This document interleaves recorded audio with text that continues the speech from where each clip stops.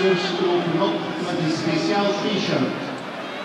Bezoek de website www.sportdagenkamp.be voor meer informatie.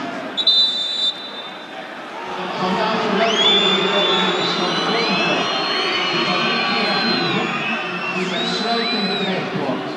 We wensen ook alle werknemers van Kronenburg een aangename voetbalavond. De aftrap vanavond wordt gegeven door Hulke Hotmans